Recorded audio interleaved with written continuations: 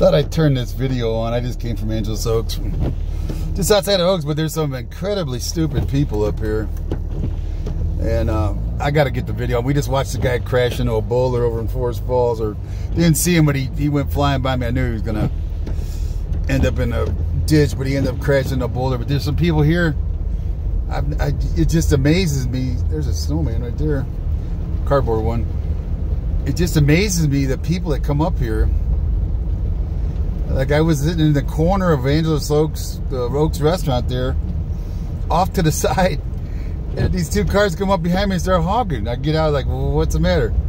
They're trying to get out, and I guess they're trying to follow my tracks out. It, it, the snow's getting a little deep there in the parking lot where it's getting pushed around.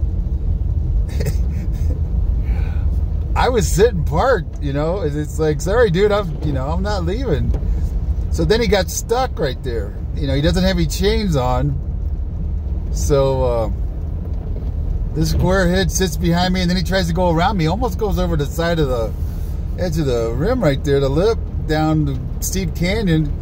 So when he gets to the road, see the problem in these turnouts is all the snow gets pushed up or gets pushed into the corners and you get big, with these little cars with no chains or cables, you can't go anywhere, especially if you stop.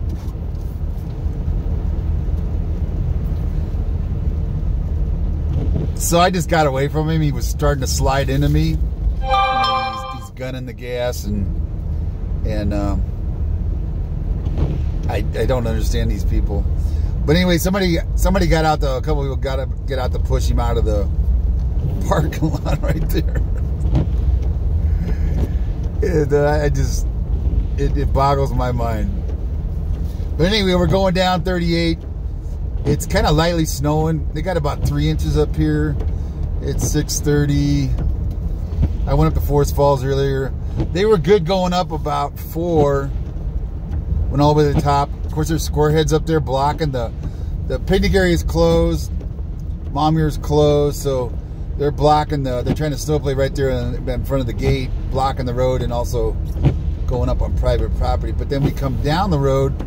Actually, we saw this idiot going up. He's stopped in the middle of the Valley Falls Drive and they're shoveling. He stayed there about 15, 20 minutes.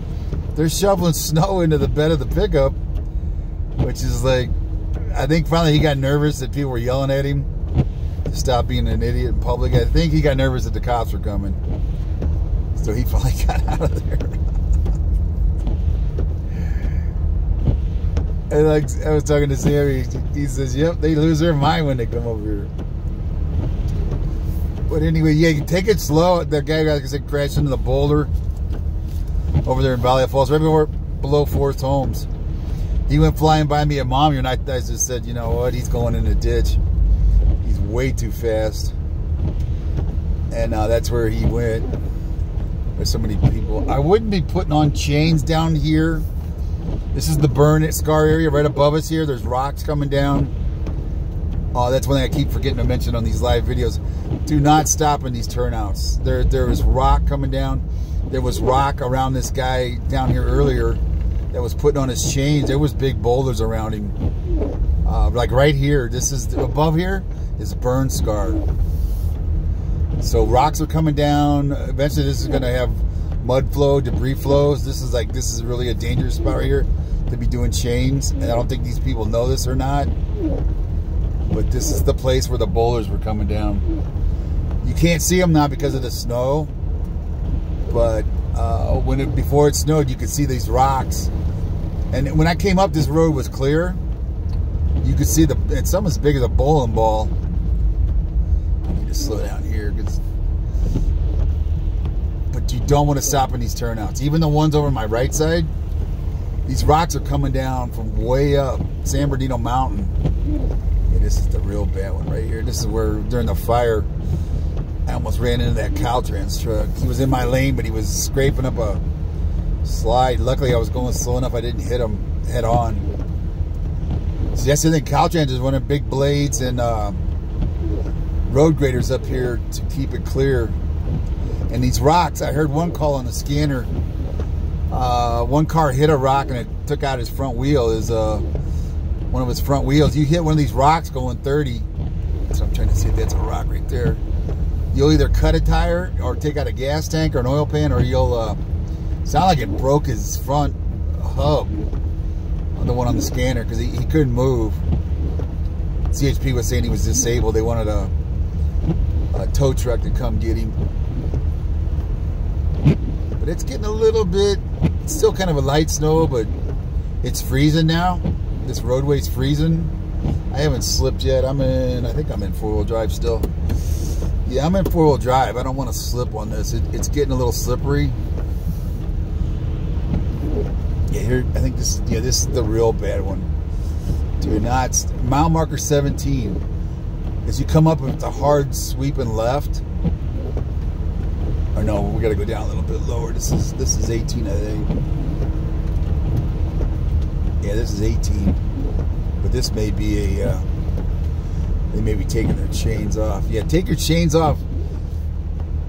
I saw a guy down, he was, uh, Jesus, where was he? He was down by Mentone with chains on. There was no snow down there. Snow was at about 5,000 feet. But he would, I could hear waka, waka, waka. I couldn't figure out, the guy was in front of me about four cars. I couldn't figure out what the sound was. Then I realized when he went around a turn, I could see the chains on his tires. And he was, they were loose and they were just beating the crap out of his fender wells. He finally pulled over at Vista Point. Don't pull out, dude. And um,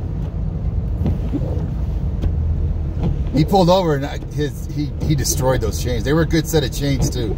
They were the big lug, you know, mine are like 150 bucks a pair.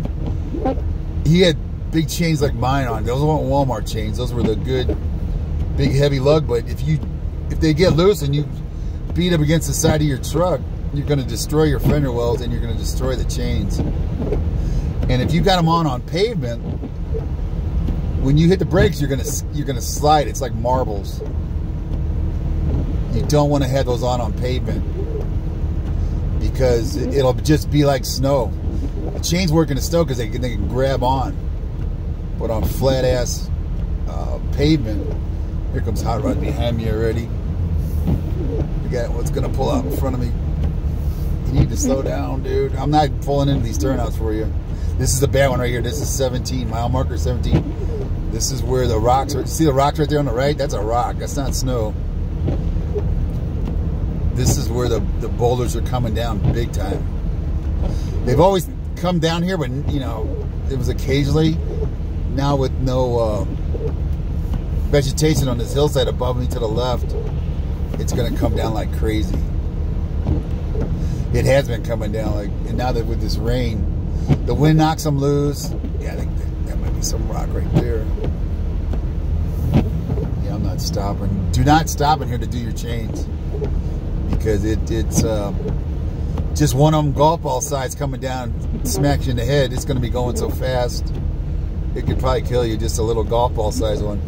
There's some I've been seeing like bowling ball size, you know, softball size. And I went over one. Is that a rock? I can't tell if it's snow. I went through some rocks a long time ago when I had when a kid totaled my blazer. Dude, cut your lights down. I can't see. See right there? That's right above them is burn scar. If a mud flow comes down, it'll take them, the car, and everything over the side. Anyway, I had a rental car and uh, coming down from uh, Blue Jay playing hockey hockey practice. Um, I'm gonna turn off my four-wheel drive. So now we're getting down to in a pavement. We're getting down to snow level. But I uh, came around a corner and there was rocks. If you know, toward the lower end of 18, uh, below the Clarksline Bridge, was uh, cliffs to the right if you're coming downbound. I came around the corner and it was just rock everywhere. And I swerved through the, I mean, some big ones See, There's Caltrans right there. They're doing a hell of a job tonight. I swerved and uh, I thought I made it through. I mean, I ran over a couple little ones. But as I get to the bottom of the 18, I look at my gas gauge. I hit like a half tank. It's on empty. And I'm like, what? So I pull over I run out of gas and I look underneath and there's a big hole to the gas tank where a rock went through. See, that's rock right there. That may be rock. That looks like snow there. But there's burn scar from Angelus Oaks clear down the Valley of the Falls to turn off the Forest Falls. So don't. I saw people here doing chains. You don't want to do chains. Go up. Of course, you're going to hit snow before you hit. See if you can make it to Angelus Oaks and in the parking lot there. You really don't want to run chains like on this. You don't really want to want to run chains on this uh, when it's clear like this because it'll just destroy your chains. Plus, you don't have any. Um, you'll skid if you hit the brakes. You don't have any grip with it. It'll just slide. See, that guy's got chains on right there. You don't want to do that. You hear that? I call them wacka wackas. That guy, his weren't wacka whacking yet, but you hear, you hear the rah, rah, rah, rah, the chains. But when those break, they'll, they'll eventually break. They're not made to run on pavement. So when you it'll eventually break one, then you hear the waka waka waka. That's the broke chain slapping the fender well. So don't don't run them. You know, go up till you actually hit snow. Put your chains on there. Yeah, this is the bad place where rocks come down right here. Same thing coming down. Go to the end of the snow and take them off. Don't run on pavement. Yeah, like right here, maybe a little bit I don't know if they're doing chains or cables.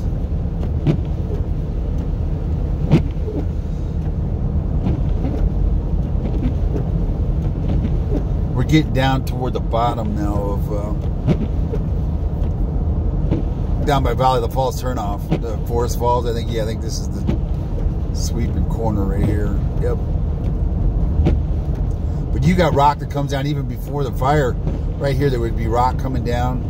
It's really steep on the left here. With the rain, it's probably going to soak it up for a while. Then it's going to start sliding. That's where they had the big slides a couple years ago. What was that? Uh, what's that? Frustration Creek right up here. I think it's pit behind me now. Where they had that fire a few years ago. what's the big lights up there? That must be Forest Home. Yeah, this is Valley of the Falls turn right here.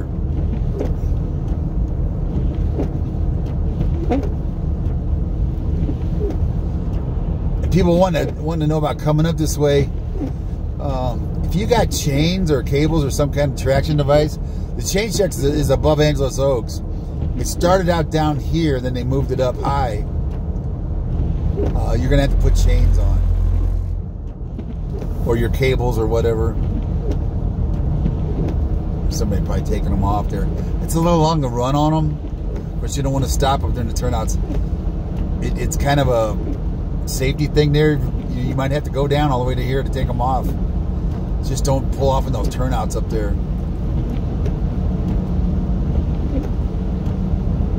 and the other thing is if you can practice practice uh,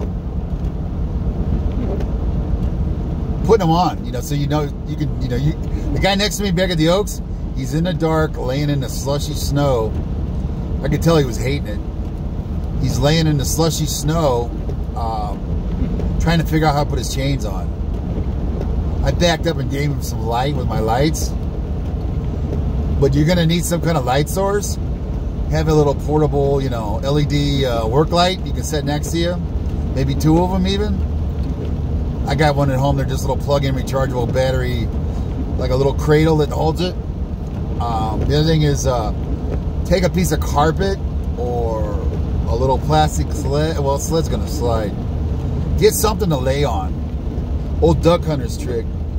When it was pouring rain in the mud, we would take like a piece of canvas and, and, and lay on that when we put our uh, waders on and got undressed.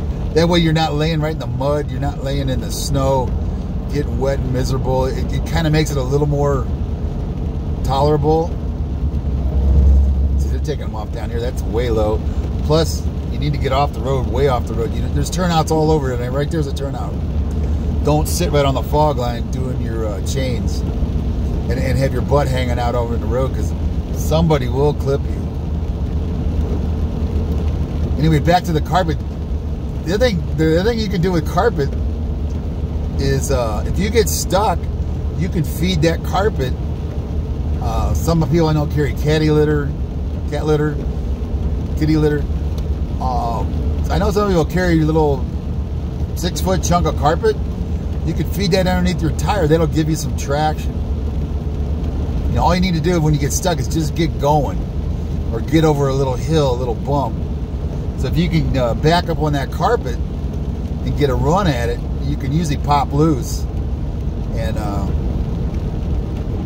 that that you know, say you don't have your chains on yet, you get stuck. So a little three, maybe two foot wide, six foot long piece of carpet, like a shag carpet. Any carpet will do, but uh, and then you can lay on that. Actually, you would probably want a little wider if you're to lay on it. And uh, you can use it for uh, getting out of a stuck situation.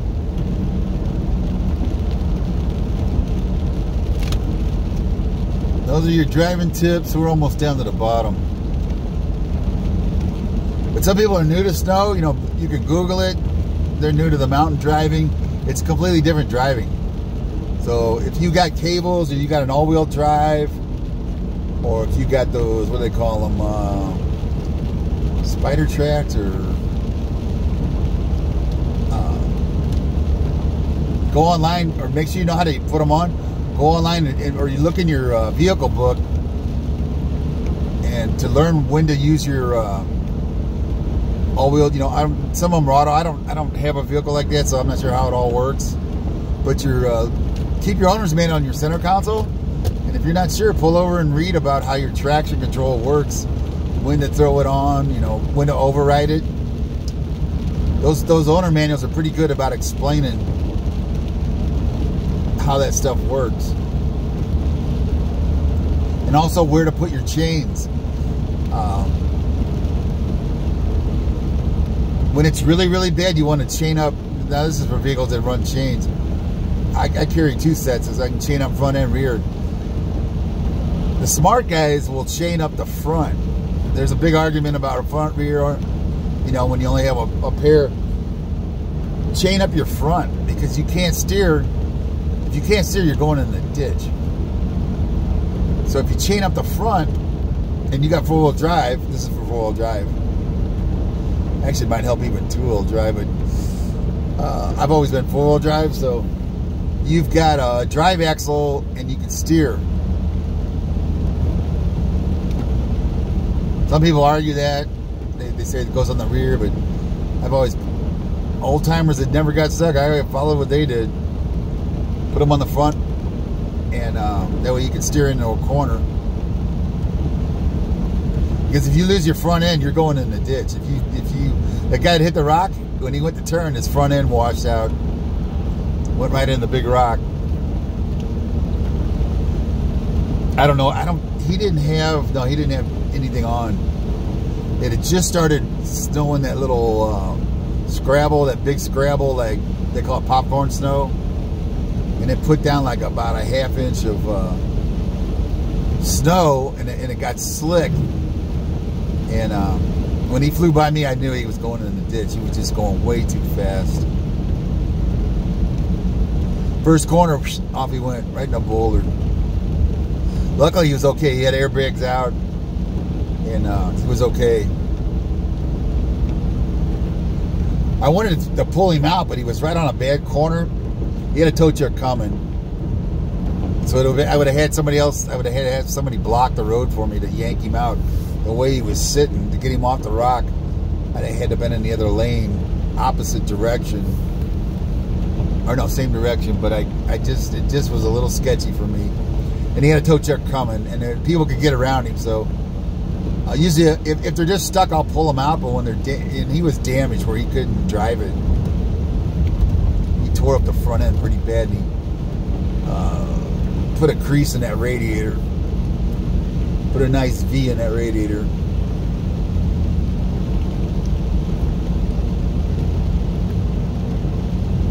anyway, we're down the hill now. We're, we just passed the bridge coming into Mentone, Yucaipa.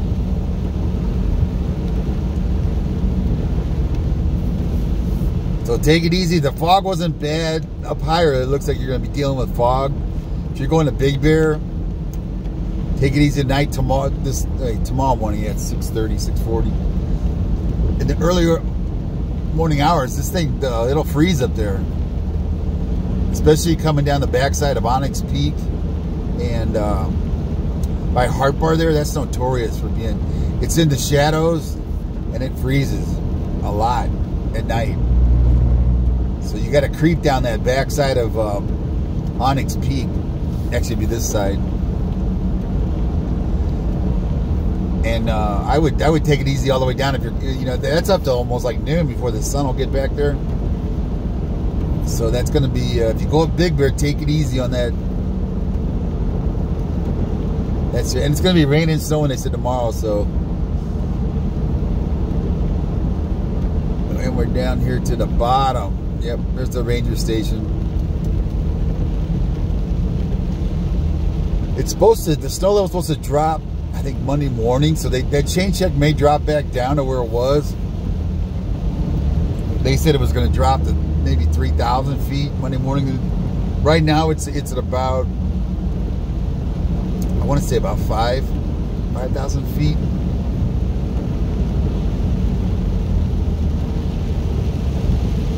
And also carry a uh, get you one of these winter uh, it's got a brush and a scraper. It's got like a it's about three feet long so you can reach across your windshield. It's got a big heavy brush on it to brush all the snow off and it's got a scraper um, to bust any ice off. In a pinch you can use your credit card you know if you got ice on your windshield. Um, you can get that off with a credit card but it's it's really slow because it's only what three, four inches wide. This scraper's maybe four or five inches wide. Or wait for the defroster. But the, you don't want to drive with snow all over your... Um... See, I had to get out when I went in the Oaks restaurant at 8. When I came out, there was quite a bit of snow on my hood and my windows. Like, I don't know if you can still see it or not. But I, I took the brush and brushed it way down so I could see. I, I saw people coming down all you could see was a little window on the driver's side all fogged up and they're peeking out that little like periscope. You don't want to drive like that. Number one it's going to uh, make it dangerous for you to drive. You can't see. And number two is the one guy had like about looked like six inches on his roof. When that flies off when you get down there and that flies off the guy behind you is going to be uh, getting hit with that big wall of snow so please don't drive with big snow piles on your roof or your or your hood or your even your windows. And that's where your little brush is. I, they're hard to find around here because down on the maybe Big Bear for sure. I think I got my last one in Mammoth. They normally don't stock them in these uh, places in the valley because you know there's no really not no snow. But if you get up in the mountains or Amazon Big heavy duty snow brush and scraper. Gotta have that. And that's your uh, winter snow tips again. We're almost down here. I gotta get gas here. So thanks for watching. That's it for the snow drives for Saturday. What is November 7th? I may do another one tomorrow. Oh, go check out Glen because uh, we're to start getting mud flows here and um, debris flows coming down off these burn scars. So it's to get, you're to start having blockages, road closures. So we'll have it on the Redlands Buzz group, Redlands Buzz and local news. There's, we, uh, we're running a road condition thread. You can post your road conditions there, or you can check, use, uh, see, uh, Caltrans is, is a website called uh, Map what's it called? Quick Maps. Go to that, and then I'll tell you the open, closed. Waze will show it. We're District 8 for Caltrans. If you follow them, it's it's Caltrans 8, I think. At Caltrans 8, the number 8 on Twitter. They usually have timely updates of closures. Oh, what else is there? Oh, SoCal Mountains. SoCalMountains.com. They have a scanner feed. I got the scanner feed turned down now, but I listen to their scanner feed, and um, I think I'm going to get some. Is Green Spot store open? I'm going to get some. I'm going to get my uh, sarsaparillas. I'm out of sarsaparilla. And root beer. They got good root beer, and they got orange crush in there too. They got some good damn. Are they open? I don't know if they're open. Yes, sir. The door's open.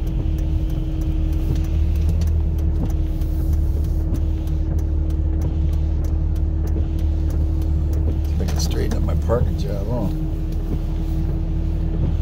Well, thanks for watching, and I'm gonna. Oh, jerky! I'm out of jerky. I gotta get some jerky. And I'll see you next time. Bye.